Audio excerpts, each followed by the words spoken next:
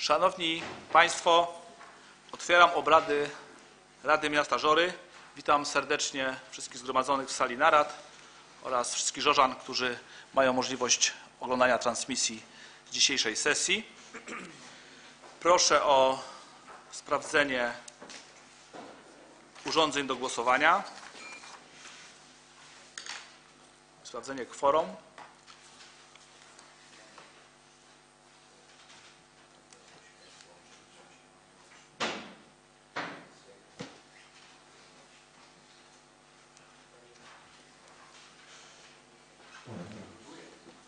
Dobrze? No, Dobrze. Stwierdzam, iż na sali obecnych jest 18 radnych. Urządzenia niektóre jeszcze muszą troszeczkę popracować. Stwierdzam prawomocność obrad. Szanowni Państwo, niczym y, przejdziemy do przyjęcia porządku obrad. Y, Witam serdecznie y, na sali panią Ewę Dy- Dyrdę, prezesa Stowarzyszenia Artystycznego Żory, który- panią, panią, panią dyre- dyrektor Szkoły Muzycznej, która też chciała w związku z pewną inicjatywą, z którą imprezą, która będzie miała charakter cykliczny, związany z świętem również ogniowym, chciałaby zabrać głos. Proszę bardzo. Dzień dobry, witam Państwa bardzo serdecznie. Yy, Reprezentuję Stowarzyszenie Artystyczne Żory, szkołę muzyczną yy, prowadzoną przez to stowarzyszenie. Yy, Pan Piotrek jest tutaj właśnie członkiem też członkiem komisji rewizyjnej naszego stowarzyszenia. I chciałam Państwa bardzo serdecznie zaprosić na y, trochę niecodzienny koncert. Y, koncertów w naszym mieście odbywa się sporo, ale y, będzie to impreza cykliczna, y, która będzie y, organizowana już y, co roku, zawsze w takim bardzo charakterystycznym dniu. Jest nazwa tego koncertu w Wigilię Święta Ogniowego. I chcieliśmy tą imprezę właśnie wpisać już w takie kalendarium stałe obchodów y, Święta Ogniowego i y, mamy tutaj pozwolenie y, pana prezydenta na to, żeby ta impreza mogła odbywać się cyklicznie. Zresztą pan prezydent objął patronat nad tą imprezą. I nie będę przedłużać, ale tak przynajmniej kilka słów na temat tego, czym jest ten koncert. Jest to efekt współpracy y, trzech instytucji, y, mianowicie y, naszego stowarzyszenia, ale przede wszystkim też Państwowej Szkoły Muzycznej. Miał być dzisiaj ze mną jeszcze pan Michał Gajda, wicedyrektor szkoły, ale niestety obowiązki zawodowe nie pozwoliły. Prosił też o przekazanie właśnie tych słów. I trzecia instytucja to Muzeum Miejskie w Żorach. I w zeszłym roku odbył się już pierwszy taki koncert, podczas którego właśnie Muzeum Miejskie odczytało y, taki list, który nas informował o tym, że y, Ogniowe Święto ma zostać wpisane na listę y, Krajowego Niematerialnego Dziedzictwa kulturo- Kulturowego. I przy każdym koncercie będziemy o tym mówić, co się dzieje, jaka jest sytuacja z wnioskiem, czy jak, jak to będzie wyglądało. Y, Oprócz tego podczas koncertu y, też zawsze Muzeum Miejskie zadba o to, żeby jakiś fragment historii naszego miasta, a przede wszystkim historii związanej ze świętem ogniowym był poruszany.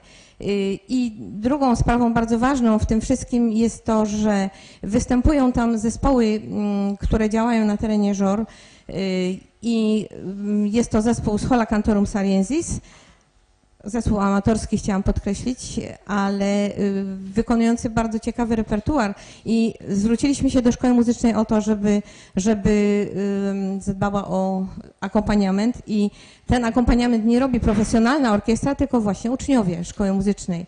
I ta, dlatego ta impreza będzie miała charakter y, nie tylko taki związany z y, z promocją y, kultury, ale również ma charakter edukacyjny. Chcemy zaangażować młodzież, żeby młodzież też poczuła, jakie to jest święto, y, jak ważną ma rangę i że mogą to święto pod, właśnie w formie tego koncertu i w formie zaangażowania własnego y, jakoś podkreślić.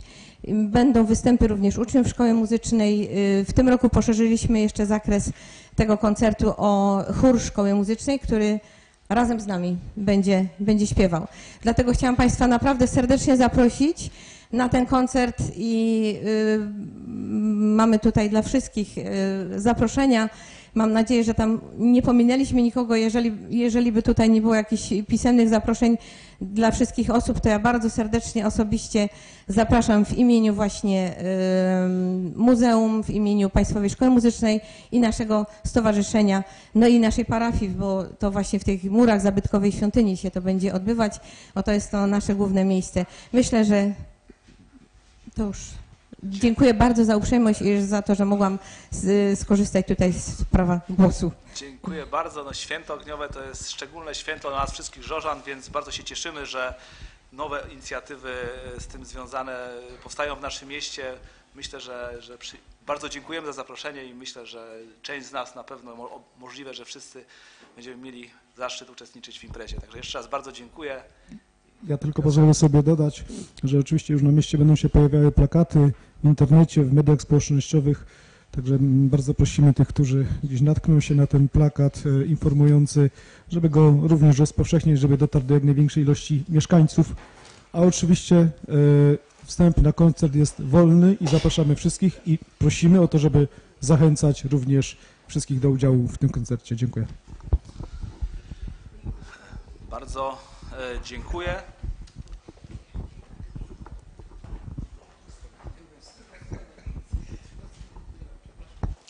Bardzo dziękuję. E, Też kwestia związana z świętem e, ogniowym, też chciałem w sprawach różnych, ale to te kwestie jeszcze będziemy omawiać. E, Natomiast przechodząc do porządku dzisiejszej sesji, przechodzimy do punktu trzeciego, przyjęcie porządku obrad. Proszę pana prezydenta Daniela Wawrzyczka. Panie Przewodniczący, wnoszę o uzupełnienie porządku obrad o projekt uchwały w sprawie przyjęcia do wykonania przez Gminę Miejską Żory zadania wojewody śląskiego związanego z przeprowadzeniem kwalifikacji wojskowej dotyczącego wypłaty dodatkowego wynagrodzenia dla członków Powiatowej Komisji Lekarskiej orzekającej o stopniu zdolności do służby wojskowej. Bardzo dziękuję. Już ten projekt e, był, e, już Komisja Rozwoju Gospodarczego i Budżetu wczoraj otrzymała ten projekt, więc, e, więc było nam wiadome, że ten wniosek wpłynie i oczywiście przegłosujemy zmianę porządku obrad. Przypominam, bezwzględną większością ustawowego składu Rady.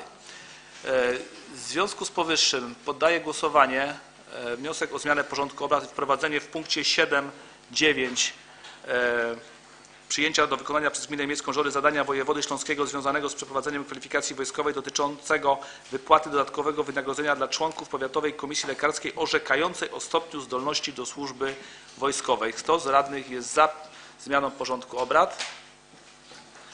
Kto jest przeciw? Kto wstrzymał się od głosu?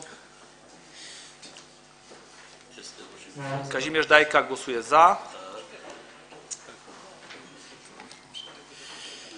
Głosowało 19 radnych, 19 radnych głosowało za zmianą porządku obrad. W związku z powyższym poddaję pod głosowanie porządek obrad z uwzględnieniem dokonanej zmiany. Kto z radnych jest za przyjęciem porządku obrad? Kto jest przeciw? Kto wstrzymał się od głosu? Dziękuję. Również 19 głosami za jednogłośnie Rada Miasta przyjęła porządek obrad. Przechodzimy do punktu czwartego. Przyjęcie protokołu numer 53 przez 23 z sesji Rady Miasta. Jeden wpis, bez uwag. W związku z powyższym poddaję pod głosowanie przyjęcie protokołu. Kto jest za przyjęciem protokołu? Kto jest przeciw? Kto wstrzymał się od głosu? Dziękuję. Głosowało 19 radnych. 19 radnych głosowało za przyjęciem. Stwierdzam, że Rada jednomyślnie przyjęła protokół. Przechodzimy do punktu piątego. Roczne sprawozdanie z realizacji zadań z zakresu wspierania rodziny oraz przedstawienia potrzeb związanych z realizacją zadań. Czy są pytania, uwagi do przedstawionego e, sprawozdania? Nie widzę. Dziękuję bardzo. Przechodzimy do punktu szóstego. Sprawozdanie dyrektora Miejskiego Ośrodka Pomocy Społecznej w Żorach z realizacji zadań za rok 2022 oraz przedstawienie potrzeb w zakresie pomocy społecznej. Również to było przedmiotem omówienia przez, przez, przez komisje e, branżowe. Czy są pytania, uwagi? Dziękuję. Przechodzimy do punktu siódmego.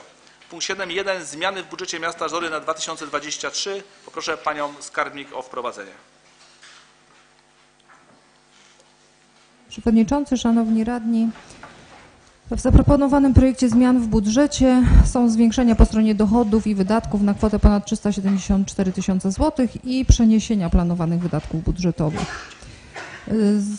Zgodnie z podjętą uchwałą Sejmiku Województwa Śląskiego, właściwie dwoma tymi uchwałami, zostały przyznane miastu środki. Pierwsza kwota to 300 tysięcy złotych na dofinansowanie zakupu samochodu ratowniczo-gaśniczego dla OSP Rowień, a druga kwota 10 tysięcy złotych na wypłatę e, środków na wsparcie osieroconych dzieci w wyniku wypadków, który, do których doszło w kopalni Pniówek oraz e, Borynia Zofijówka. W zakresie zadań oświatowych y, szkoła podstawowa nr 4 otrzymała darowiznę 10 tysięcy. Przeznaczy to te środki na mm, stworzenie przestrzeni do zabaw z szachami zewnętrznymi. Zespół szkolno-przedszkolny 5 otrzymał y, środki w kwocie 9 tysięcy na realizację projektu Usłyszeć Innych oraz darowiznę 15 tysięcy na realizację kącika wyściszającego w ramach przedsięwzięcia Zielona Przystań. Zespół szkół specjalnych otrzymał odszkodowanie ponad 4 tysiące złotych i również zwrot y, za zużyte media w trakcie remontu budynku filii ponad 13 900 złotych.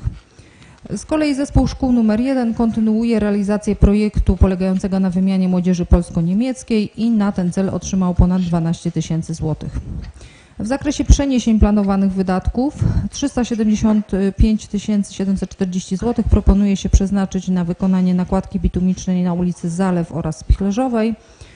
E, Następnie 58 150 na e, realizację zadania związanego z budową i utrzymaniem budynków wielorodzinnych przy ulicy Okrężnej.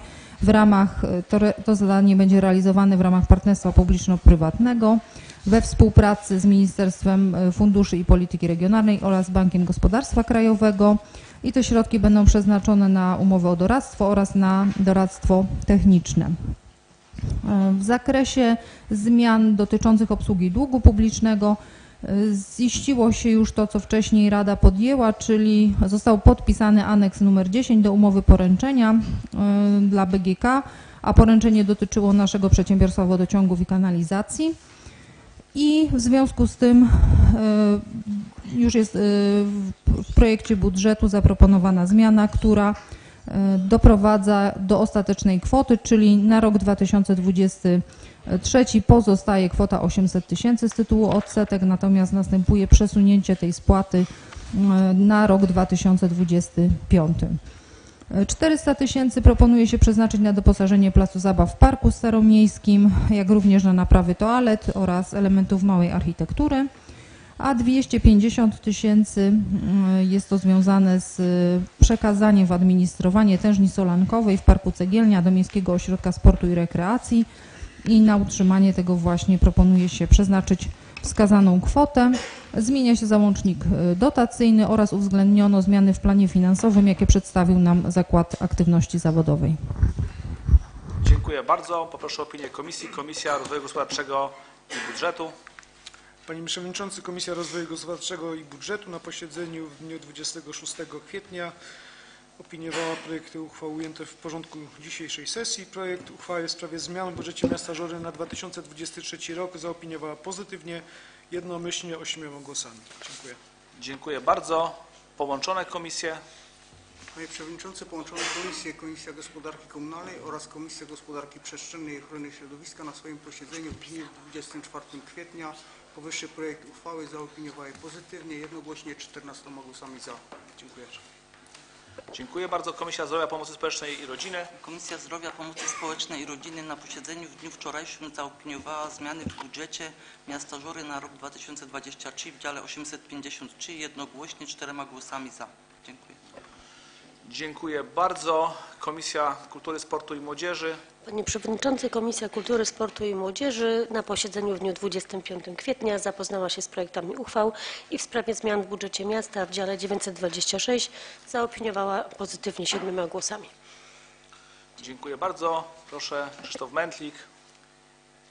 Panie Przewodniczący, Panie Prezydencie, Szanowni Radni, Panie Skarbnik, mam pytanie dotyczące e, no, deficytu, który nam występuje, deficytu na e, dochodach bieżących. Zwiększamy e, wydatki i zwiększamy także wydatki bieżące. Jak obecnie kształtują się nam wskaźniki przy tych zmianach, które w zasadzie co miesiąc robimy, a dotyczą przede wszystkim zwiększania tej różnicy in minus, jeśli chodzi o dochody i wydatki bieżące.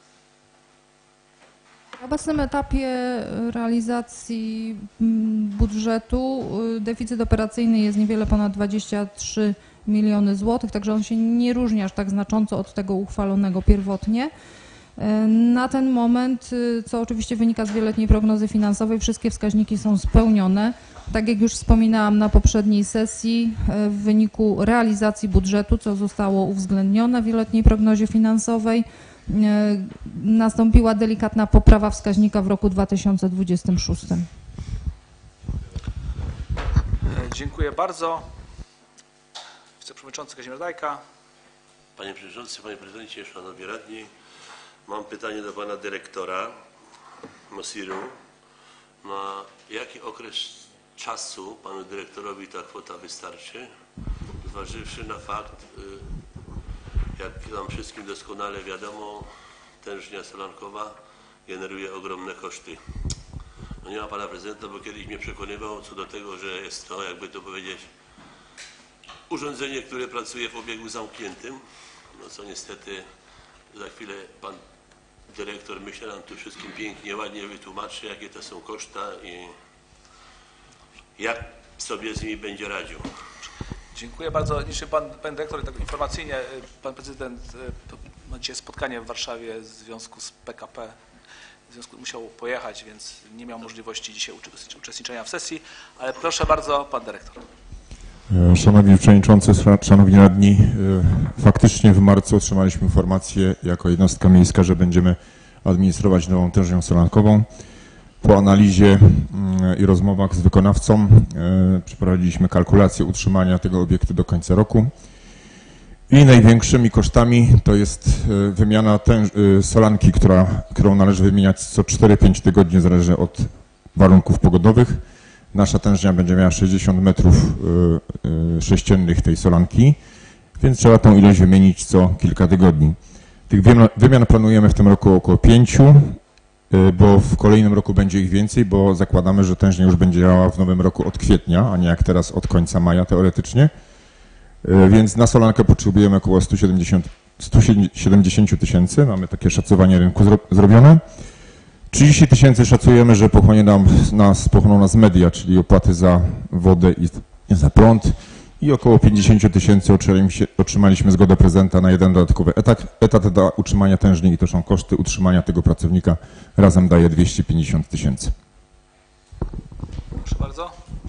Czyli Panie Dyrektorze, rozumiem, ten rok mamy dokładnie już, jakby to powiedzieć, zaplanowany i pieniądze, które w tej chwili przekazujemy Panu Dyrektorowi wystarczą. Na przyszły rok, myślę, Pan Dyrektor od razu nam pięknie przygotuje do nowego budżetu już kwotę, którą wprowadzimy i będzie już to jako oblik, bo niestety, a raczej, a raczej stety, no mamy piękny obiekt, no myślę, że wszyscy ku ogromnemu zadowoleniu mieszkańców będziemy z niego korzystać, bo jest to naprawdę bardzo dobra sprawa, tężnia solankowa, także z góry było wiadomo, że będzie się to ko ko kojarzyło z kosztami, które trzeba będzie ponosić w związku z tym, że jest to obiekt, który charakteryzuje się tym, że ten aerozol musi funkcjonować w tym środowisku, żeby uzyskać pożądany efekt. Także ja dziękuję bardzo, a pana dyrektora proszę o przygotowanie odpowiedniego już jakby to powiedzieć bilansu do budżetu roku 2024 pod kątem tężni.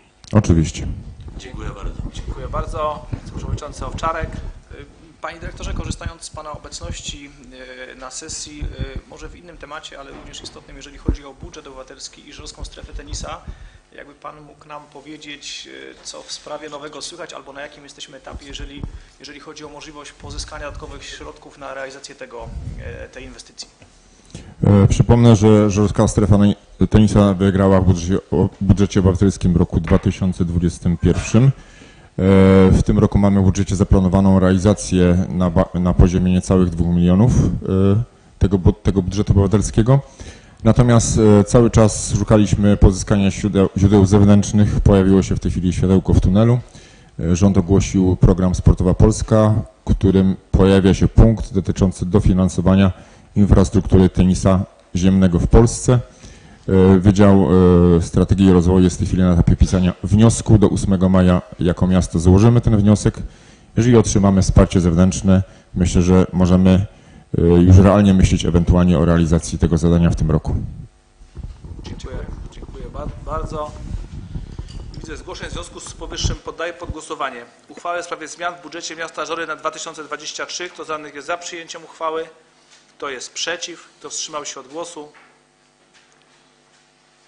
Dziękuję. Głosowało 21 radnych. 20 radnych głosowało za przyjęciem uchwały. Przy jednym głosie wstrzymującym stwierdzam, że uchwała została przyjęta.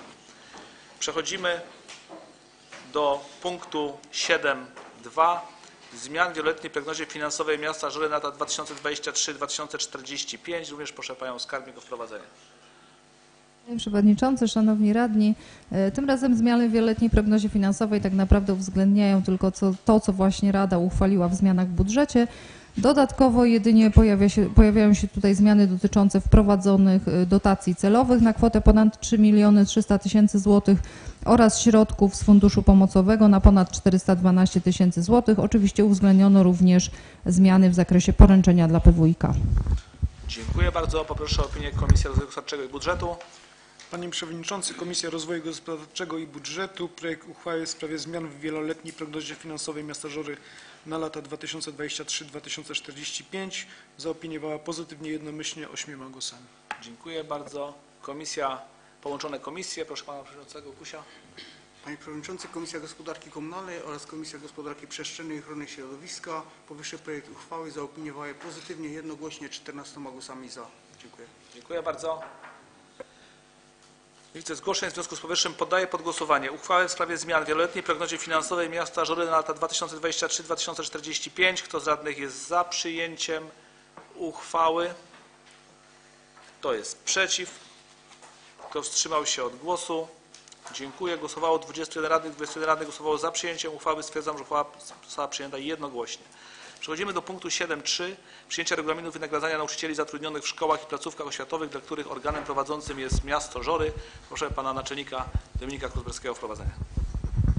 Szanowny Panie Przewodniczący, Szanowni Radni, przedstawiony projekt uchwały jest tak naprawdę wynikiem prac prawie półtora rocznych. Od półtora roku y, dyskutowaliśmy nad zmianą tego regulaminu wynagradzania. Od 2018 roku praktycznie był, był niezmieniany poza tymi przepisami, które gdzieś nakładały na nas y, kolejne obowiązki. Tu chodziło między innymi o dodatek dla wychowawcy klasy, który się pojawił. I przez ten czas spotykaliśmy się z, dyrektora, z dyrektorami szkół, z przedstawicielami związków zawodowych, by wypracować e, wspólny dokument, jakieś porozumienie, e, który będzie dla wszystkich stron e, akceptowalne. E, Poddaliśmy oficjalnemu opiniowaniu ten dokument. E, W toku tych opinii e, dwie opinie od Związku Nauczycielstwa Polskiego i od Solidarności były pozytywne, bez wniesienia uwag, natomiast Związku, e, Związek Forum, e, Forum Związków Zawodowych wniosło uwagi co do dodatku za warunki uciążliwe oraz za warunki trudne. Stwierdzili, że ten dodatek jest zbyt mały, natomiast po- pominęli fakt, że często jest on łączony i został on podniesiony. I dodatkowo jeszcze wnieśli uwagi w zakresie samych ym, wymagań co do przyznania dodatku motywacyjnego, że są zbyt szczegółowe. E, Natomiast my nie możemy ich opisać w sposób bardziej ogólny, bo wtedy narażamy się na uwagi ze strony nadzoru wojewody i na uchylenie e, tej, tej uchwały, więc pozostawiono te uwagi bez rozpatrzenia. E, Poddano także ten projekt uchwały konsultacjom społecznym. W toku tych konsultacji nie wniesiono y, żadnych uwag. Tak naprawdę y, główną zmianą są kwoty. Y, One są podniesione, jeśli chodzi o dodatki funkcyjne, motywacyjne czy pozostałe, które tutaj są określone, również dla wychowawcy klasy, dla mentora, dla opiekuna stażu, dla nauczyciela prowadzącego zajęcia właśnie w warunkach uciążliwych, trudnych. I podniesiono kwoty nagród y, dyrektora oraz nagród prezydenta miasta, bo od kilkunastu lat praktycznie one były, y, były niezmieniane. Y, Zwracam się do Państwa z prośbą o przyjęcie tej uchwały w przedstawionym kształcie. Dziękuję. Dziękuję bardzo. Poproszę o opinię Komisję Edukacji. Panie Przewodniczący, Komis- Komisja Edukacji Rady Miasta Żory na posiedzeniu w dniu dzisiejszym projekt powyższej uchwały zaopiniowała pozytywnie, jednogłośnie, sześcioma głosami za. Dziękuję. Dziękuję bardzo. E, Szanowni Państwo, proszę Krzysztof Mętlik. Proszę, tak? E, Panie Przewodniczący, Panie Naczelniku, mam pytanie dotyczące e, jak, jakie potencjalne skutki finansowe, jeśli chodzi o budżet placówek, przy okazji budżet miasta e, spowoduje zmiana tej uchwały? O, o jakich kwotach mówimy oczywiście kwotach globalnych. Dziękuję. Znaczy skutki finansowe y, co do złotówki jakby nie są możliwe do przewidzenia, bo wiadomo, że to zależy też y, w niektórych przypadkach, jeśli chodzi na przykład o kwotę dodatku dla nauczyciela prowadzącego zajęcia w warunkach trudnych, to nie jest tak, że on dostanie całość tego dodatku, ale dostanie je tylko za godziny, które przepracuje faktycznie.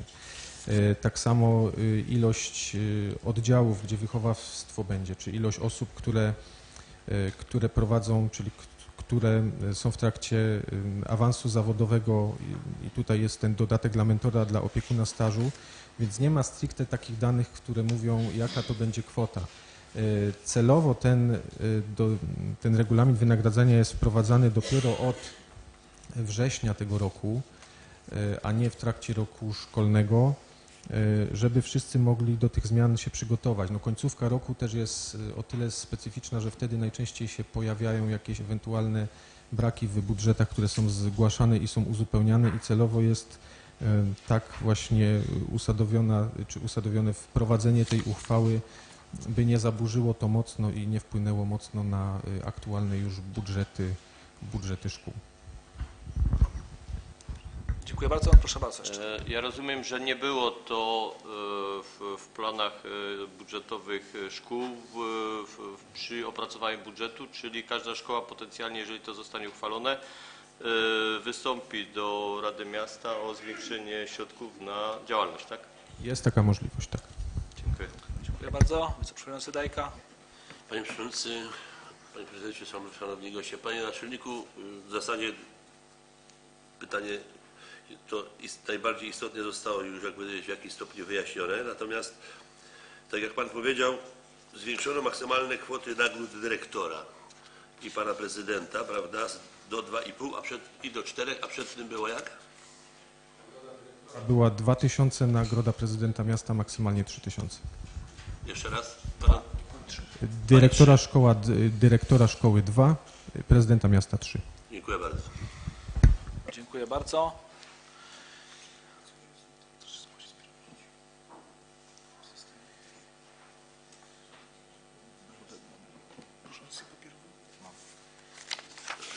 Ja mam 2,5 i 4 nagroda. Jeszcze raz. 2,5? A, okej. E, Tak. Ja mam pełny tekst uchwały, jeżeli jakiekolwiek są kwestie techniczne, to, to... Jeszcze momencik.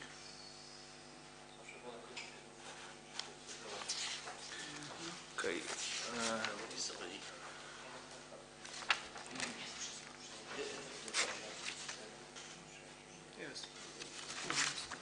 Dobrze. Sz- e, Szanowni Radni, poddaję pod głosowanie uchwałę w sprawie przyjęcia regulaminu wynagradzania nauczycieli zatrudnionych w szkołach i placówkach oświatowych, dla których organem prowadzącym jest miasto Żory. Kto z radnych jest za przyjęciem uchwały? Kto jest przeciw? Kto wstrzymał się od głosu? Głosowało 21 radnych, 21 radnych głosowało za przyjęciem uchwały. Stwierdzam, że uchwała przyjęta została jednogłośnie.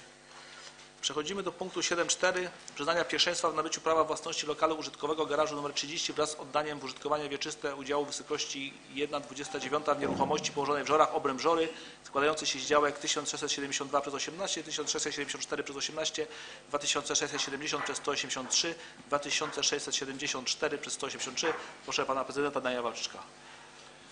Panie Przewodniczący, Szanowni Radni, to już kolejny projekt takiej uchwały 2-3 miesiące Rada Miasta zajmuje się y, takimi projektami. Y, Mianowicie to, co już wielokrotnie mówiłem, poprzednia ustawa o gospodarce gruntami i wywłaszczaniu nieruchomości przewidywała, że do 31 grudnia bodajże 2000 roku y, posiadacze garażów mogli je nabyć w drodze bezumow- znaczy bezprzetargowej. I Ta ustawa przestała obowiązywać. Natomiast nie wszyscy z tego uprawnienia z różnych powodów skorzystali. Y, Istnieje taka możliwość, że w trybie obecnie obowiązującej ustawy o, gospodar- o gospodarce nieruchomościami y, po spełnieniu określonych przesłanek można sprzedać dotychczasowemu dzierżawcy w trybie bezprzetargowym taki garaż. Ta rodzina spełnia, wnioskodawcy spełniają te przesłanki przewidziane w ustawie o- gospodarce nieruchomościami, y, są wieloletnimi dzierżawcami, dlatego proszę Radę Miasta o podjęcie te, tej uchwały. Dziękuję bardzo. Poproszę o opinię komisji. Komisja Rozwoju Gospodarczego i Budżetu. Panie Przewodniczący, Komisja Rozwoju Gospodarczego i Budżetu procedowany projekt uchwały zaopiniowała pozytywnie, jednomyślnie, ośmioma głosami. Dziękuję bardzo. Poproszę o opinię połączonych komisji. Panie Przewodniczący, połączone komisje, Komisja Gospodarki Komunalnej oraz Komisja Gospodarki Przestrzennej i Ochrony Środowiska powyższy projekt uchwały zaopiniowały pozytywnie, jednogłośnie 14 głosami za. Dziękuję. Dziękuję bardzo. Widzę zgłoszeń. W związku z powyższym poddaję pod głosowanie uchwałę w sprawie przyznania pierwszeństwa w nabyciu prawa własności lokalu garażowego garażu nr 30 wraz z oddaniem w użytkowanie wieczyste udziału w wysokości 1,29 w nieruchomości położonej w Żorach, obręb Żory składającej się z działek 1672 przez 18, 1674 przez 18, 2670 przez 183 i 2674 przez 183. Kto z radnych jest za przyjęciem uchwały? Kto jest przeciw? Kto wstrzymał się od głosu? Kończymy głosowanie. Dziękuję. Głosowało 20 radnych. 20 radnych głosowało za przyjęciem uchwały. Stwierdzam, że uchwała przyjęta została jednogłośnie. Przechodzimy do punktu 7.5. Wyrażenia zgody na odstąpienie od obowiązku przetargowego trybu zawarcia na okres 10 lat umowy dzierżawy działek o numerach 1054 przez 33, 1055 przez 36, 951 przez 36, 912 przez 181, 880 przez 179 stanowiących własność gminy miejskiej Żory na rzecz Miejskiego Ośrodka Kultury w Żorach. Poproszę pana Daniela Wawrzyczka o prowadzenie. Panie Przewodniczący, Szanowni Radni, powoli y, zbliża się, mam nadzieję, pomyślny fin, finał prac związanych z renowacją pałacu w Baranowicach oraz parku przypałacowego. Y, W tej chwili y, należałoby podjąć decyzję w sprawie oddania w posiadanie podmiotowi, który będzie zarządzał w imieniu miasta y, całym tym terenem, czyli y, w tym przypadku ma być to Miejski Ośrodek Kultury w Żorach. Y, Trzeba oddać w posiadanie teren pałacu i właściwie głównie parku pałacowego. Istnieje taka możliwość, że samorząd może w jednostce, własnej jednostce oddać w, w trybie bezprzetargowym daną nieruchomość i tu takie y, przesłanki zachodzą. Chcę Państwu powiedzieć, że te wymienione działki należą do gminy miejskiej Żory. Jest tam jeszcze pewna grupa nieruchomości, których właścicielem jest Skarb Państwa, czyli wojewoda śląski, ale to będzie przedmiotem zupełnie odrębnego postępowania, które nie będzie tutaj procedowane na forum Rady Miasta, tylko mm, na podstawie porozumienia pomiędzy panem prezydentem a panem wojewodą bezpośrednio. W związku z powyższym proszę Radę Miasta o podjęcie uchwały. Dziękuję bardzo. Poproszę o opinię Komisji Rozwoju Gospodarczego i Budżetu. Panie Przewodniczący, Komisja Rozwoju Gospodarczego i Budżetu procedowany projekt uchwały zaopiniowała pozytywnie, jednomyślnie, ośmioma głosami. Dziękuję. Połączone komisje. Panie Przewodniczący, Komisja Gospodarki Komunalnej oraz Komisja Gospodarki Przestrzennej i Ochrony Środowiska powyższy projekt uchwały zaopiniowały pozytywnie, jednogłośnie 14 głosami za. Dziękuję. Opinia Komisji Kultury, Sportu i Młodzieży. Panie Przewodniczący, Komisja Kultury, Sportu i Młodzieży na posiedzeniu w dniu 25 kwietnia powyższy projekt uchwały zaopiniowała siedmioma głosami za. Dziękuję bardzo. Proszę, Krzysztof Mętlik. Panie Przewodniczący, Panie Prezesie, Szanowni Radni. Mamy na sali Pana Dyrektora MOKU, któremu tą uchwałą przekażemy na najbliższe 10 lat e, władanie terenem ponad 6 hektarów wokół Pałacyku Baranowicach. Panie dyrektorze, no już gratuluję z góry, ale wiąże się to z wieloma e, zadaniami nowymi, które Pan jako dyrektor Miejskiego Ośrodka Kultury będzie musiał robić. Czy, czy ma Pan pomysł na to, w jaki sposób e, ten duży park, te 6 hektarów, e, kosić, nie wiem, no, pielęgnować, może tak ogólnie powiem. E, W jaki sposób e, chce Pan to robić? Czy ma Pan już pomysł? e, Czy były już jakieś ustalenia z prezydentem? Dziękuję. Szanowni radni, szanowny, szanowny Panie Prezydencie, Szanowna Rado, oczywiście mm, pomysł, mm, który przychodzi do głowy nie, nie, nie będzie polegał na tym, że- własnymi siłami będziemy to robić, niestety, niestety z uwagi, niestety czy stety, ale z uwagi na ogrom prac, zabyt, formę parku, zabytkową formę tego parku, y, będącą pod opieką konserwatora. Y, y, Wydaje się, że no, jedynym rozwiązaniem będzie to, że trzeba będzie sobie zapewnić specjalistyczną firmę, która będzie wykonywała takie usługi, czyli no, po prostu trzeba będzie zrobić rozeznanie, czy też przetarg, y, gdzie się określi dokładnie y, zakres i parametry wykonywanych pielęgnacji i dopiero po przeprowadzeniu takich, y, takiego rozeznania, czy też przetargu postępowania o zamówienie publiczne będziemy wiedzieli, jakie to są koszty. No ale t- tak jest mniej więcej pomysł, można powiedzieć. Co do kosztów w tej chwili trudno mi powie- y, co do się odnieść. Tak, proszę bardzo. Panie dyrektorze, wczoraj na Komisji Rozwoju Gospodarczego i Budżetu oraz na Komisji Połączonych w poniedziałek mieliśmy informację od Pana Prezydenta, że w zasadzie do końca września park jeszcze będzie e, tak by reno, e, robiona renowacja tego parku.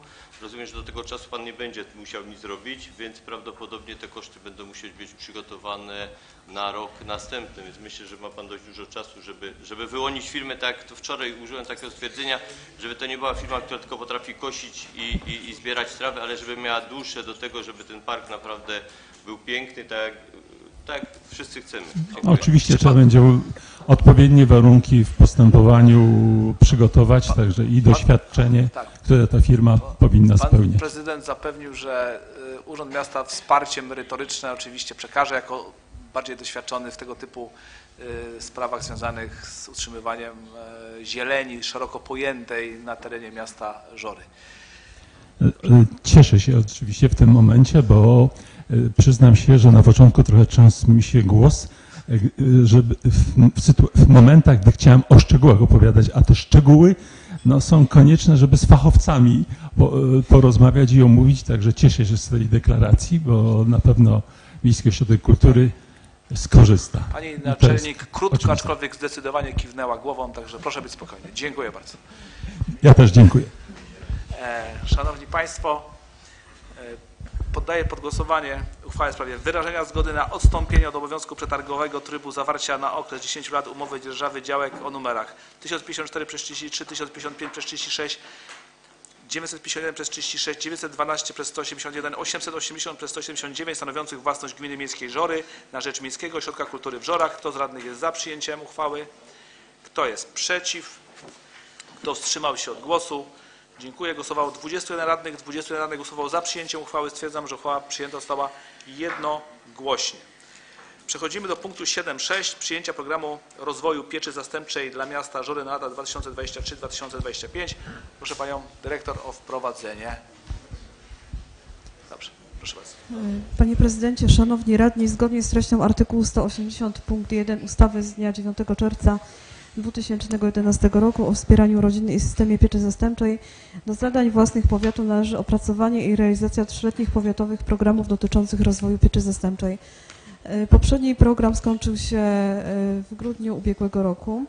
E, Obecny program dla miasta Żory na, na lata 2020 2023-2025 został opracowany w oparciu o strategię rozwiązywania problemów społecznych miasta Żory na lata 2023-2028, którą Państwo w zeszłym miesiącu przyjęli uchwałą.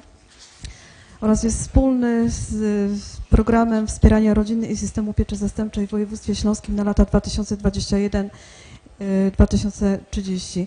Głównym założeniem niniejszego programu jest doskonalenie spójnego systemu wsparcia i rozwoju pieczy zastępczej w mieście Żory.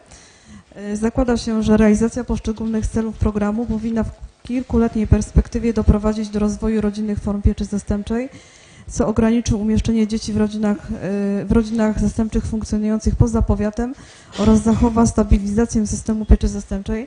Chciałam Państwu powiedzieć y, w tym momencie, że wczoraj w Bibliotece Miejskiej, Publicznej, w miejskiej, w bibliotece, Miejskiej Bibliotece Publicznej odbyła się konferencja poświęcona y, y, pieczy zastępczej, dokładnie promowaniu pieczy zastępczej, w której wzięło udział około 100 osób. Y, Między innymi byli również przedstawiciele Rady Miasta. Mamy nadzieję, y, że dzięki tej y, konferencji pozyskamy nowe osoby do pełnienia y, funkcji rodziców zastępczych. Dziękuję. Dziękuję bardzo. Poproszę opinię Komisji Zdrowia, Pomocy Społecznej i Rodziny. Komisja Zdrowia, Pomocy Społecznej i Rodziny w dniu wczorajszym y, popiera w całości y, rozwój tej pieczy zastępczej na lata 23-25. Z tego miejsca chcę podziękować Pani Dyrektor i pracownikom MOPS-u za przygotowanie tego programu, bo to jest wielkie dzieło, wielka praca.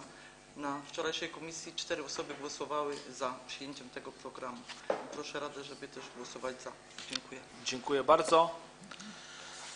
E, Szanowni Państwo, nie widzę zgłoszeń. W związku z powyższym poddaję pod głosowanie uchwałę w sprawie przyjęcia programu rozwoju pieczy zastępczej dla miasta Żory na lata 2023-2025.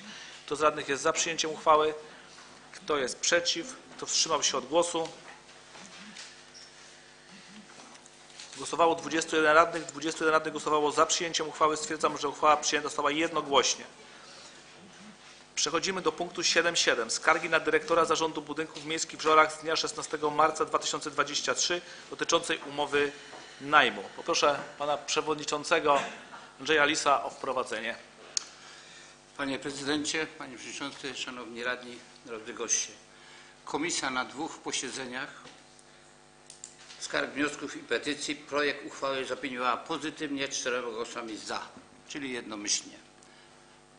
Czy rozwijać to? Nie. to Ma, mamy dokumenty, więc zapoznaliśmy się z uzasadnieniem. Czy y, są pytania, uwagi do projektu uchwały? Dziękuję bardzo. W związku z powyższym poddaję pod głosowanie uchwałę w sprawie skargi na dyrektora Zarządu Budynków Miejskich w Żorach z dnia 16 marca 2023 dotyczącej umowy najmu, e, w której e, Rada Miasta skargę w paragrafie pierwszym uznaje za zasadną. Kto jest za przyjęciem uchwały? Kto jest przeciw? Kto wstrzymał się od głosu? Głosowało 21 radnych, 17 radnych głosowało za przyjęciem uchwały. Przy dwóch głosach przeciw i dwóch głosach wstrzymujących stwierdzam, że uchwała została podjęta. Przechodzimy do punktu 7.8. Skargi na dyrektora Zarządu Budynków Miejskich w Żorach z dnia 16 marca 2023 dotyczącej niewłaściwego utrzymania lokalu. Proszę również pana przewodniczącego o wprowadzenie. Panie Prezydencie, Panie Przewodniczący, Szanowni Radni. Komisja Skarg, Wniosków i Petycji powyższy projekt uchwały zaopiniowała pozytywnie jednomyślnie z czterema głosami za. Dziękuję bardzo. Też stan faktyczny jest nam znany. E, Wynika też z uzasadnienia oraz dokumentów. E, W związku z powyższym i wobec braku zgłoszeń poddaję pod głosowanie uchwałę w sprawie skargi na dyrektora Zarządu Miejskich w Żorach z dnia 16 marca 2023 dotyczącej niewłaściwego utrzymania lokalu, w której Rada w paragrafie pierwszym uznaje skargę za bezzasadną. Kto jest za przyjęciem uchwały? Kto jest przeciw? Kto wstrzymał się od głosu? Dziękuję. Głosowało 21 radnych. 21 radnych głosowało za przyjęciem uchwały. Stwierdzam, że uchwała przyjęta została jednogłośnie. Szanowni radni, przechodzimy do punktu 7.9. Przyjęcia, przejęcia do wykonania przez Gminę Miejską Żory zadania wojewody śląskiego związanego z przeprowadzaniem kwalifikacji wojskowej dotyczącego wypłaty dodatkowego wynagrodzenia dla członków Powiatowej Komisji Lekarskiej orzekającej o stopniu zdolności do służby wojskowej. Proszę pana zastępcę prezydenta Daniela Wawrzyczka o wprowadzenie. Panie Przewodniczący, Szanowni Radni, tak naprawdę projekt tej uchwały mm, jest procedowany wyłącznie z, po, z tego powodu, że zmieniła się podstawa prawna funkcjonowania Komisji Wojsko, Wojskowej Komisji Lekarskiej. Mianowicie w tym roku weszła w życie ustawa o, o obronie ojczyzny, która zastąpiła ustawę o powszechnym obowiązku obrony RP. I to jest ta zmiana, z powodu której Państwo jesteście y, w, tej chwili poproszeni o przyjęcie tej uchwały. Dziękuję bardzo. A stara ustawa była bodajże z 69 roku, ja pamiętam. Siódmy. Dobrze, ale to stare, stare czasy. E, Szanowni radni, proszę o opinię, bo komisja miała wczoraj możliwość zapoznania się z projektem. Proszę o opinię Komisji Rozwoju Gospodarczego i Budżetu. Panie Przewodniczący, Komisja Rozwoju Gospodarczego i Budżetu projekt uchwały zaopiniowała pozytywnie jednomyślnie ośmioma głosami. Dziękuję bardzo. Nie widzę zgłoszeń w związku z powyższym. Podaję pod głosowanie uchwałę w sprawie przyjęcia do wykonania przez Gminę Miejską Żory zadania wojewody śląskiego związanego z prowadzeniem kwalifikacji wojskowej dotyczącego wypłaty dodatkowego wynagrodzenia dla członków Powiatowej Komisji Lekarskiej orzekającej o stopniu zdolności do służby wojskowej. Kto jest za przyjęciem uchwały? Kto jest przeciw? Kto wstrzymał się od głosu?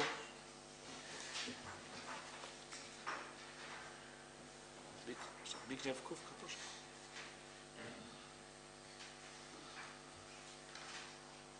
Jeszcze chwileczkę, poczekamy. Dziękuję. Głosowało 21 radnych, 21 radnych głosowało za przyjęciem uchwały. Stwierdzam, że uchwała została przyjęta jednogłośnie. Przechodzimy do punktu ósmego. Sprawozdanie prezydenta miasta działalności za okres między sesjami wraz ze sprawozdaniem z realizacji zadań inwestycyjnych. Czy są pytania, uwagi do sprawozdania pana prezydenta? Dziękuję. Nie widzę. Przechodzimy do punktu dziewiątego. Interpelacje, zapytania do prezydenta miasta oraz odpowiedzi na interpelacje i zapytania. Czy ktoś chciał zgłosić interpelację lub zapytanie na piśmie? Y, Panie Przewodniczący, ja chciałem złożyć dwie interpelacje. Pierwsza interpelacja dotyczy, e, dotyczy parkingu na, na terenie e, dzielnicy e, Sikorskiego. Chodzi o parking, który jest położony zaraz naprzeciwko przedszkola nr 16 imienia Czesława Janczarskiego. Ten parking jest wykorzystywany przede wszystkim przez rodziców i opiekunów dzieci uczęszczających do przedszkola.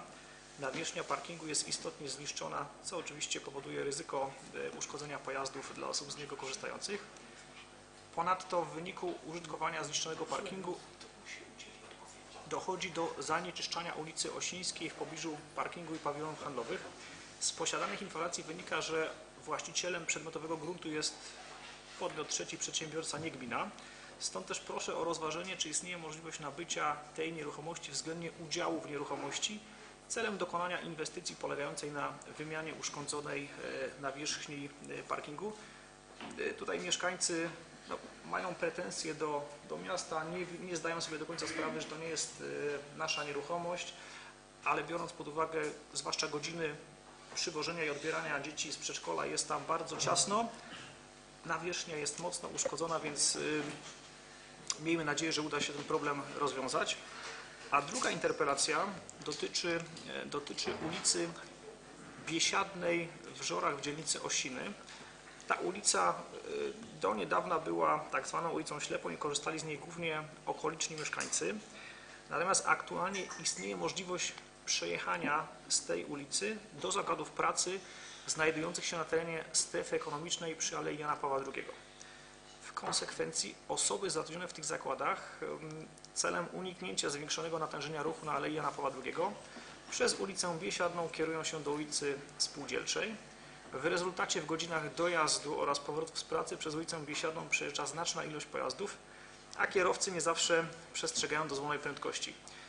Trzeba podkreślić, że rejon ulicy Biesiadnej jest okolicą zwartej zabudowy jednorodzinnej, a dzieci często bawią się w pobliżu ulicy. Rodzi to zagrożenia dla mieszkańców. E, Na terenie ulicy nie znajdują się progi zwalniające, stąd też należy rozważyć możliwość umieszczenia znaków ograniczających prędkość dla użytkowników ulicy Biesiadnej w Żorach Osiny. Dziękuję. Dziękuję bardzo. Czy ktoś jeszcze chciał złożyć interpelację, zapytanie? Jeśli nie, to przechodzimy do...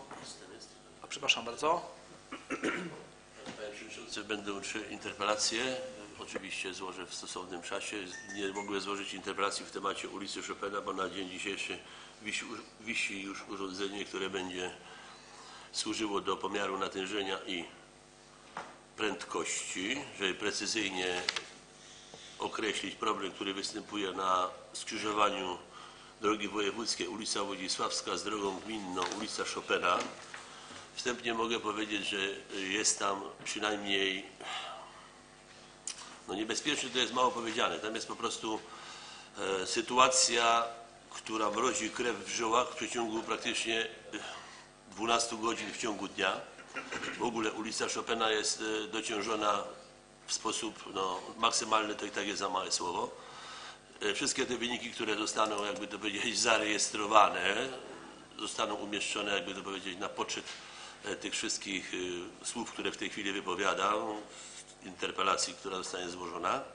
Myślę, że wykonanie poszerzenia, poszerzenia, bo jest możliwość wykonania poszerzenia tej drogi do granicy administracyjnej miasta i wybudowanie chodnika przynajmniej w tej pierwszej części na wlocie ulicy Chopina w sposób bardzo znaczący poprawi warunki bezpieczeństwa, głównie pieszych. Sama przebudowa przejścia dla pieszych w kierunku powiedzmy no, dalszej części Chopina będzie rozwiązaniem takim, które już w jakimś tam stopniu poprawi te warunki, zważywszy na fakt, że mamy, jakby to powiedzieć, budowę ronda i ulicy Warszawskiej w niedalekim okresie, prawda? Będzie nakładka wykonywana na ulicy Chopina. W związku z powyższym myślę należałoby to poszerzenie wykonać odpowiednio teraz wcześniej, żeby przy jednym zadaniu osiągnąć efekt finalny.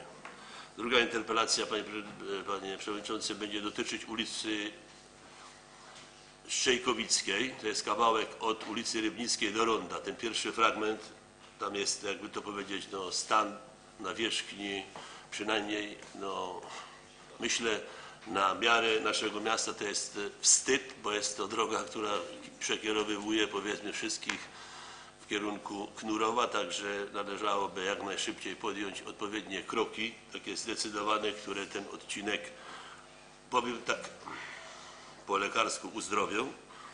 No i jeszcze trzeci temat wizerunkowy. Wjeżdżając do naszego miasta mamy te tak zwane popularne witaczki, które raczej no, kluby nam nie przynoszą, wręcz jakby to powiedzieć, no, odstraszają, tak to określę. I tutaj też bardzo bym prosił o podjęcie zdecydowanych kroków, żeby właśnie to, co powinno e, zapraszać, no, faktycznie wykonywało swoją funkcję w sposób poprawny.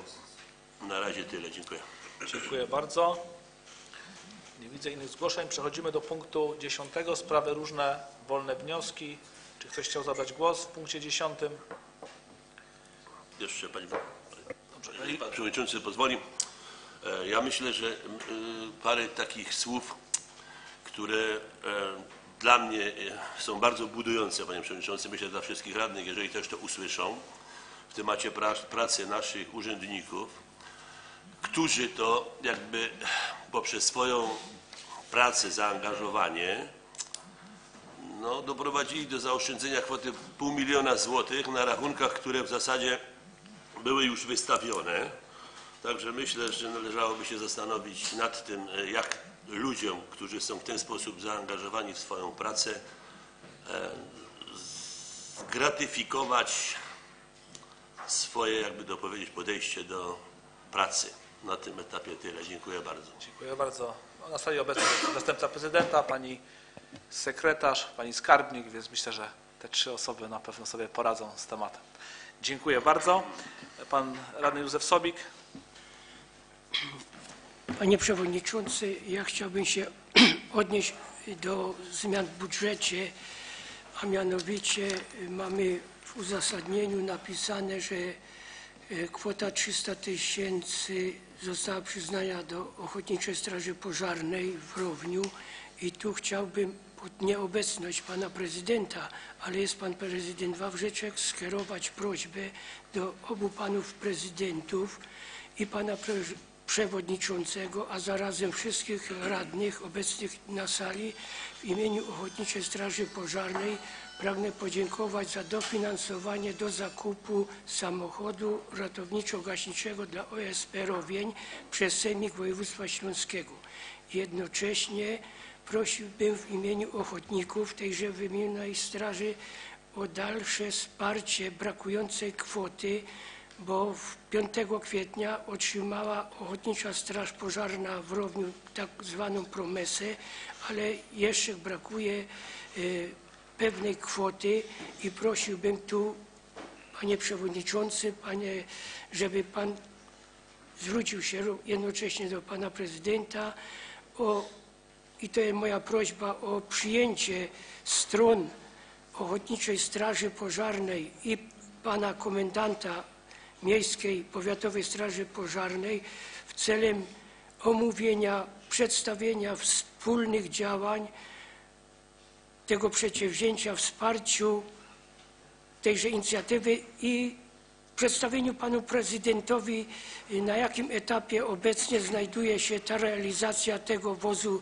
potrzebnego do chemicznego gaszenia pożarów, bo Ochotnicza Straż Pożarna jest w Rowniu, jest, bez, jest przyznana do chemicznego y, gaszenia zdarzeń, jednocześnie i na autostradzie, i w ogóle w obrębie całego naszego rejonu. Dziękuję. Dziękuję bardzo.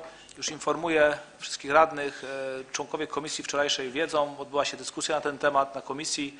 Pan prezydent zadeklarował, e, że wspólnie wiadomo z Radą, jeżeli będzie potrzeba, że te środki się znajdą i jeżeli będą potrzebne dodatkowe śro- środki, to, to miasto pomoże, więc prośb zabezpieczy. Prośba o przekazanie tego strażakom oczywiście do tego spotkania, o którym radny mówi, oczywiście dojdzie.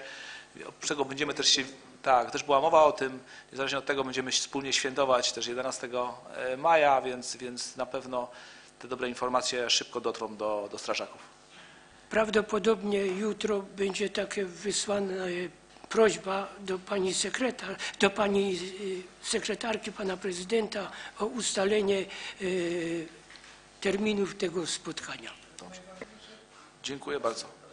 Dzie, dziękuję. No. Dziękuję. Dziękuję bardzo. Mieczysław Jakubowski. Panie Przewodniczący, Szanowni Radni, Panie Prezydencie, nie wiem czy pytanie do Pana Prezydenta bezpośrednio, czy może do Pani Naczelnik. Mam troszkę się spóźniłem. W sprawozdaniu y, Prezydenta jest y, w punkcie pierwszym y, złożenie wniosku o dofinansowanie w programie Olimpia 2023 do budowy dwóch hal sportowych przyszkolnych. Jest tam wymieniona SP13 Żory tu chciałem się dopytać, czy chodzi o jakąś nową halę, czy wymianę istniejącego zadaszenia tak zwanego balonu i, i, chodzi, i jest wymieniona hala SP numer 4. E, W jakiej kwestii tam ma być e, podobnej jak przy SP13 jakaś hala sportowa, czy coś na temat złożenia tych wniosków o te dofinansowanie więcej? Pani naczelnik będzie wiedziała? Czy pan? Albo Tak, proszę bardzo. Y, Szanowni radni, jeśli chodzi o program Olimpia, to na SP4 chodzi o zadaszenie istniejącego boiska ze sztuczną nawierzchnią.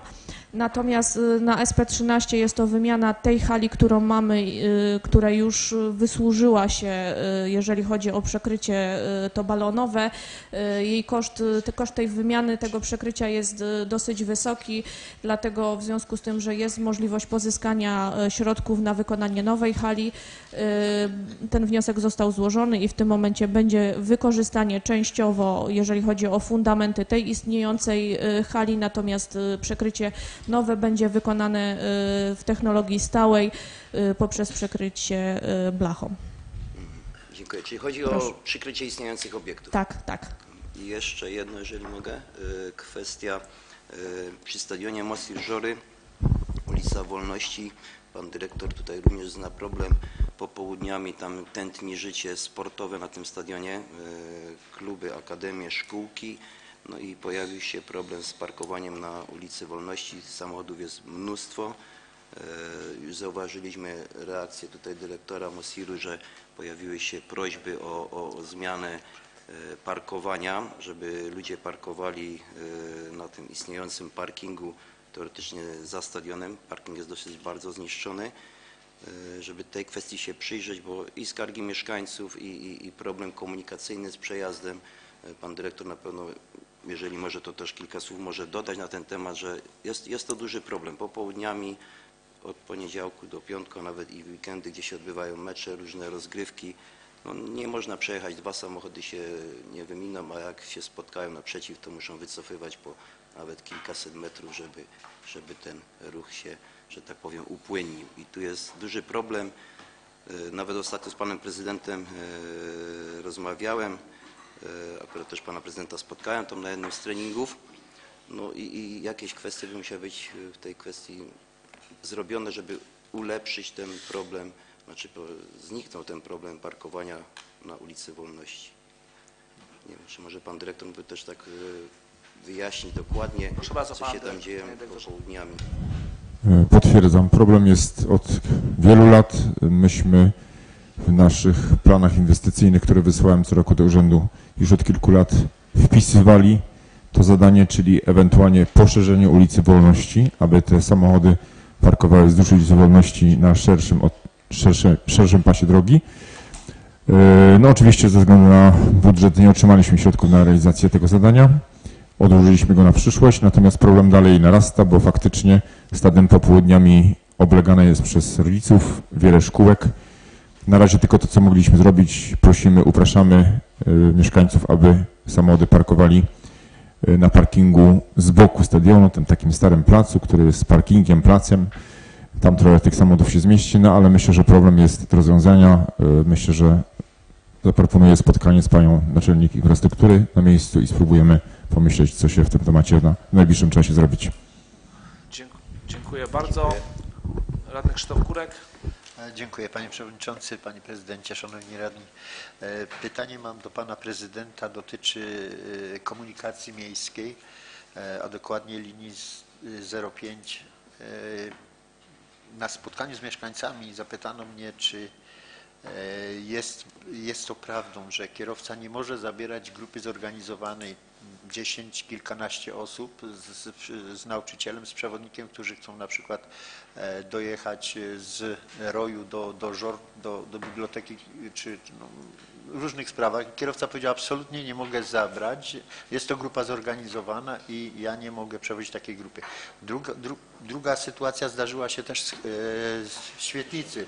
E, opiekunka świetlicy, Opiekunka Świetlicy też z grupą jechała, chciała jechać, niestety nie dojechali do Miejskiego Ośrodka Kultury z tego względu, że kierowca też odmówił zabrania, powiedział, to jest grupa zorganizowana, nie możecie ze mną jechać. Ja nie biorę odpowiedzialności za grupę zorganizowaną, więc y, ja y, po uzyskaniu tego typu pytania też nie, nie znałem odpowiedzi na nie, więc obiecałem mieszkańcom, że dzisiaj na sesji zapytam się e, pana pana prezydenta, zwłaszcza, że pan prezydent e, w MZK też tam e, e, ma swój głos, więc e, proszę o, od- o odpowiedź w tym temacie, czy jest to prawdą. Dziękuję. Chcę powiedzieć, że po raz pierwszy słyszę o takim problemie. Nigdy, nigdy takich problemów nie było, chyba że coś nowego się pojawiło w regulaminie MZK lub w przepisach. E, Byłem dwie kadencje przewodniczącym zarządu MZK i nigdy się z czymś takim nie zetknąłem. Jeżeli się coś zmieniło, to jest kwestia kilku lat ostatnich.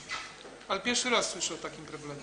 Ale bardzo proszę o- na odpowiedź w, w tym temacie, bo ja poinformuję tych Okej, ludzi, którzy po prostu Po prostu no, zadzwonię do pani dyrektor MZK i się dowiem. Dziękuję bardzo. Szanowni Państwo, jest chyba dwóch radnych w tej samej sprawie, dlatego jakby poza kolejnością e, Anna Gaszka, Krzysztof Mętlik, a później Krzy- Ja Krzysztof w tej Hałas. samej sprawie zabrać głos. Y, To znaczy, to nie, nie wiem, czy to też jest w jakimś regulaminie ujęte, natomiast y, to funkcjonuje.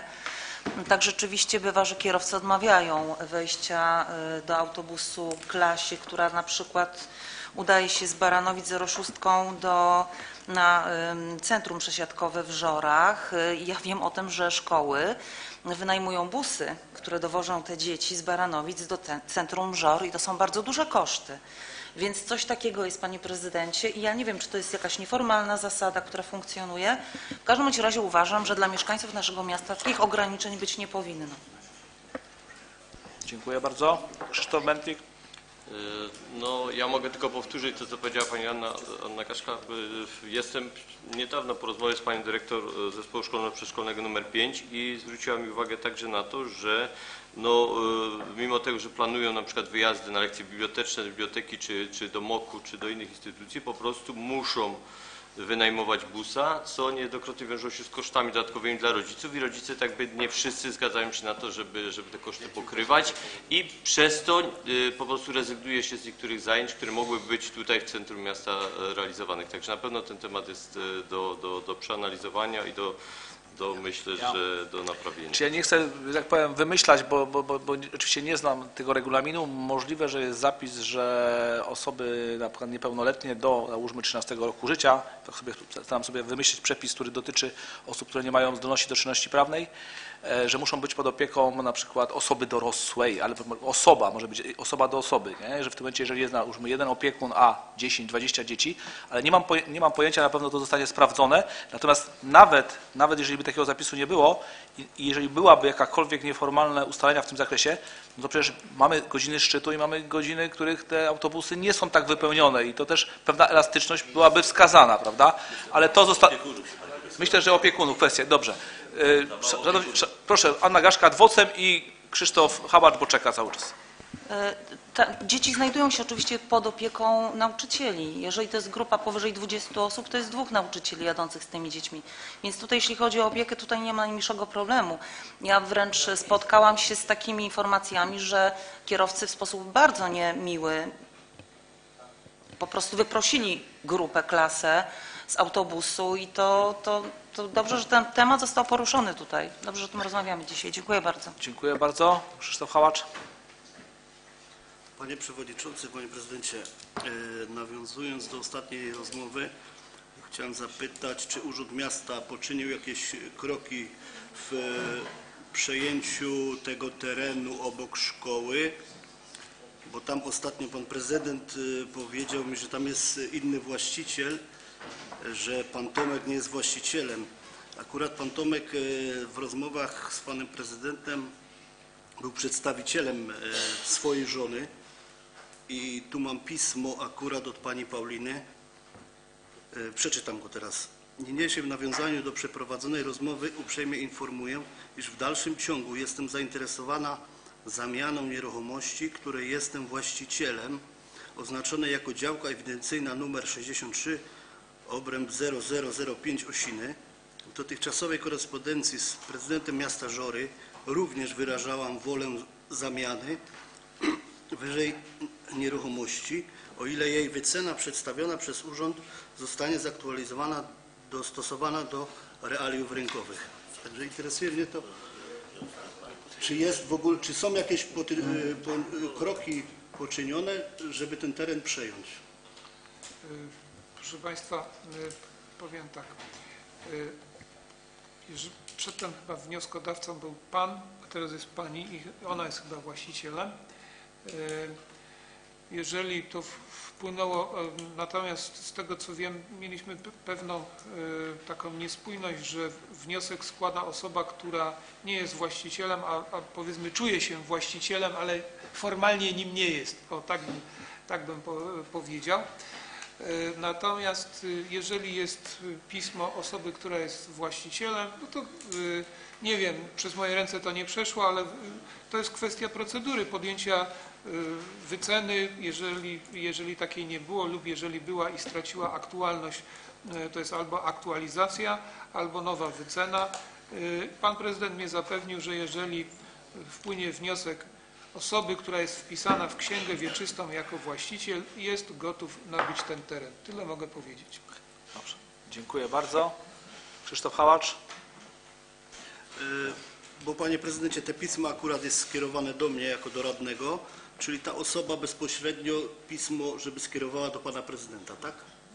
Proszę pana, pan nie jest tak, bardzo pana przepraszam, ale nie jest pan organem, który podejmuje w imieniu e, gminy Żory te decyzje dotyczące zakupu. E, Proponuję to skierować do właściwego organu, czyli do prezydenta miasta Żory. Dziękuję bardzo. Dawid Świerczek adwocem. Hałar, poseł. Mi się wydaje, że to są jakieś problemy takie czysto proceduralne, bo wszyscy wiemy o, o tym, że ten teren w Osinach jest potrzebny i że ta działka jest potrzebny, więc prezydent chyba doskonale zdaje sobie sprawę, kto jest właścicielem. Jeżeli mąż właścicielki przychodzi na rozmowę i doszło do takich rozmów, to teraz, e, kiedy pan prezydent mówi, że nie wiadomo było, czy my rozmawialiśmy z właścicielem, czy nie z właścicielem, no to wydaje mi się, jak gdyby... Dobrze, ale słuchajcie, no to pan prezydent przedstawił informację, że te rozmowy z właścicielem, jeżeli będą, to będą, bę- będą, będzie to rozpatrywane po, poważnie zakup tej nieruchomości, natomiast tak jak powiedziałem, jest tu wiele zmiennych, począwszy od, jak przy każdej, od ceny, poprzez kwestie proceduralne, więc no myślę, że to, to będzie, że tak powiem, procedowało zgodnie z zasadami. Kazimierz Daj, przepraszam, Krzysztof Hałasz, tak? Proszę bardzo. Mi się wydaje, że urzędowi powinno zależeć na tym, e, żeby ten teren przejąć. Ja nie jestem osobą, oczywiście, panie prezydencie, decydującą, tylko e, szanowna pani akurat jako mnie pośrednika zrobiła, żebym przedstawił to pismo i myślę, że urzędowi to powinno zależeć, a nie danemu, danej osobie, która jest właścicielem, bo dobrze wiadomo, tak jak tu pan radny Świerczek stwierdził, że wokół szkoły w Osinach jest bardzo ciasno, teraz będzie budowane, e, dobudowywany ma być e, następny budynek i ten teren jest bardzo potrzebny, także mi się wydaje, że to Urząd Miasta powinien wyrazić inicjatywę, aby za tym terenem chodzić. Dziękuję bardzo. Mogę coś? Kazimierz Daj. Powiem tak, panie przewodniczący, panie prezydencie, uważam, że to, co tutaj w tej chwili się jakby dowiedzieć, no, roztacza, to jest pokłosie postawy pana prezydenta, którą zaprezentował w zeszłym tygodniu. Pan radny Hałacz wziął na siebie to brzemię, skoro się tym interesuje, jest to jego dzielnica, więc troszczy się o to, żeby wszyscy ci, którzy tej szkoły będą uczęszczać, mieli maksymalne dobre warunki do nauki, a rodzice dowożący dzieci do szkoły mogli spokojnie gdzieś zaparkować, zostawić samochód, etc., etc., więc nie należy się tutaj doszukiwać, że jest zaadresowane na pana radnego. Pan radny, ja osobiście panu radnemu dziękuję za to zaangażowanie, a myślę, pan prezydent również powinien panu radnemu za to zaangażowanie podziękować, bo w tym wypadku mamy praktycznie czyste pole, tylko i wyłącznie, jakby dochodzi do tego, ażeby pan prezydent sfinalizował sprawę, bo jest przygotowane, myślę, na tyle dobrze, że w zasadzie to jest tylko i wyłącznie kwestia podpisania stosownych dokumentów. Idąc dalej, myślę, że e, ostatnie spotkanie na komisji połączonej, Komisji Gospodarki Komunalnej i Ochrony Środowiska, poruszane tematy zaowocowały tym, że e, troszeczkę będzie sprawniej i lepiej w naszym mieście, w związku z tym, że jedna z ulic, czyli ulica Gajowa została już w tej chwili udrożniona, ulica Towarowa, myślę, panie naczelnik mi udzieli informacji, kiedy zostanie ten gazo- gazociąg szczęśliwie zakopany, co w efekcie końcowym. Panie radny Owczarek uskuteczni, jakby to powiedzieć, i upłynni na tyle ruch, że większość osób, które w tej chwili korzysta z tego objazdu ulicą Biesiadną, przekieruje się na, na te właśnie drogi, na ulicę Towarową, czy to powiedzmy Gajową, bo niestety gro ludzi, które się przekierowały z ulicy Gajowej na ulicę Towarową, dosta- dostały się dokładnie do tego samego punktu wyjścia, prawda? Później jak już pojechali ulicą Okrężną, no to z ronda najbliżej było dojechać do miejsca pracy ulicą Biesiadną, więc myślę, że te problemy się teraz porozwiązywały już powolutku same, tylko musimy dokładać więcej starań i być bardziej skuteczni w tym, jak monitorować prace, które prowadzą firmy na terenie naszego miasta, bo to jest podstawa. Monitorować i patrzeć, jak robią, gdzie robią i jak możemy im ewentualnie pomóc w ich problemach, które no niestety się napotyka, gdziekolwiek, cokolwiek się robi. Taka jest rzeczywistość i wszyscy się z nią spotykamy. Także myślę, że najważniejsza jest skuteczność, a myślę, że Pani Naczelnik mi teraz odpowie, kiedy towarowa będzie już uruchomiona na tyle, że nie będzie generowała problemów, a policjanci nie będą musieli się aktywizować w kwestii wypisywania mandatów karnych. Czy Panie Naczelnik ma informacje w zakresie towaru?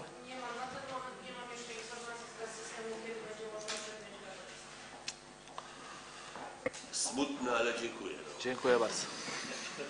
Dziękuję bardzo. E, Szanowni Radni, nie ma zgłoszeń, w związku z powyższym ja e, kilka informacji. E, Pierwsza o maj, wiele obchodów. 3 maja obchody 232 rocznicy uchwalenia Konstytucji 3 maja, również obchody wybuchu 102 rocznicy wybuchu III Powstania Śląskiego. Zapraszam wszystkich na uroczystych obchodach. E, Też prośba, aby kluby wydelegowały osoby do pocztu sztandarowego. E, Oczywiście zaproszenie 10 maja, 11 święto ogniowe. Serdecznie wszystkich zachęcam. E, Wielka, wielka rzecz w- w mieście. Mamy, tak powiem, wczoraj na ten temat żeśmy też rozmawiali. Mamy tutaj wielką nadzieję, że rynek już będzie up- uprzątnięty, że będziemy mogli świętować e, w, w, tak, w, sposób, w sposób zgodny i, i w bardzo, bardzo tam ładnych okolicznościach. Tak. E, Szanowni Radni, informacja taka techniczna, żeby radni, bo w tym momencie jeszcze nie zapadła decyzja odnośnie sesji majowej i czerwcowej, więc e, to będzie prezydentem ustalone w zależności od, od ustalenia terminu sesji absolutoryjnej, więc będzie sesja albo 25 e, maja, albo 1 czerwca i później 22 czerwca lub 29 czerwca, więc to jest uzależnione, więc jakby można było już tak wstępnie sobie e, obydwa te majowe terminy, jeżeli ktoś może sobie jeszcze, ale w ciągu myślę tygodnia będziemy, będziemy wiedzieć już jaki będzie ostateczny terminy tych dwóch sesji. Z mojej strony to tyle. E, Dziękuję bardzo, przypominając, że jutro upływa termin składania oświadczeń majątkowych. Zamykam ob- obrady Rady Miasta Żory.